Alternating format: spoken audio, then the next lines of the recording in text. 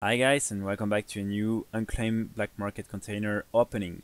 So this container I got it for 46k which is extremely cheap. Uh, I'm really happy about that. I'm pretty sure it's because the new black market auction house is in Revendreth and that a lot of people uh, well they're just not you know like uh, aware of that and also you need to be 60 so probably it's because of that but yeah pretty happy. So let's see what's in the box. Uh, probably another pattern okay and let's go.